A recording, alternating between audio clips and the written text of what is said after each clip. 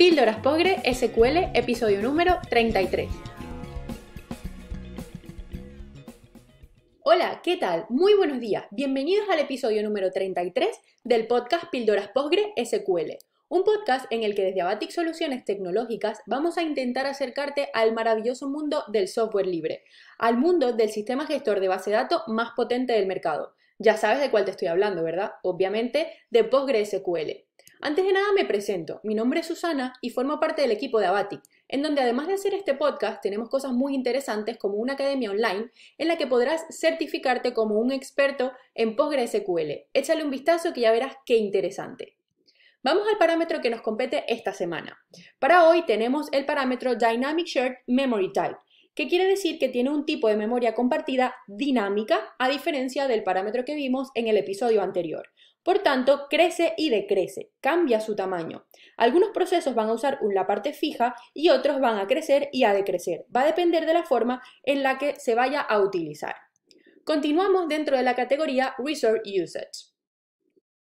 Viendo un poco más en profundidad sus características, vemos que este parámetro tiene un contexto postmaster, es decir, que está dentro del proceso principal, y por tanto vamos a necesitar reiniciar para poder guardar el valor una vez hayamos realizado los cambios.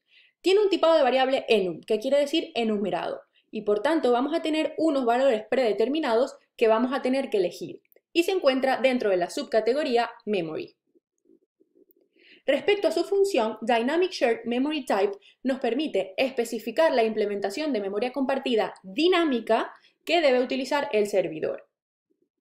Este parámetro tiene un valor por defecto POSIX y por tanto se usa para la memoria compartida POSIX, no obstante, existen también otros valores, como el valor sysv, que se usa en el systemv para esa reserva de memoria, Windows para la memoria compartida de Windows o mmap, que es el que se utiliza de forma habitual en el sistema Linux.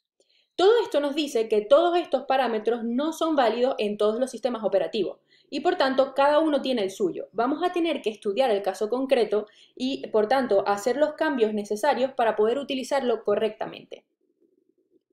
Como siempre, vamos a poder comprobar el valor de dos formas. Por una parte, haciendo una búsqueda sencilla en Select, donde name es igual a dynamic-share-memory-tape, cerrando con punto y coma, o a través del metacomando show, escribiendo show, espacio dynamic-share-memory-type, cerrando también siempre con punto y coma.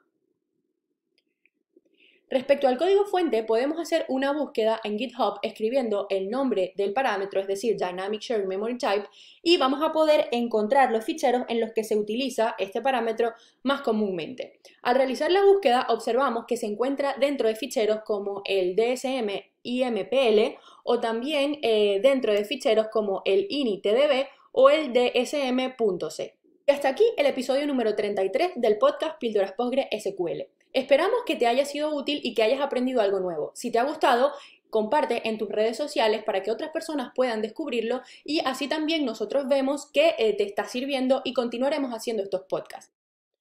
Te esperamos en todo PostgreSQL con un nuevo ciclo de laboratorios cada mes y con una gran variedad de cursos en el que podrás certificarte como experto en PostgreSQL. Que tengas un feliz día y hasta la próxima. Chao, chao.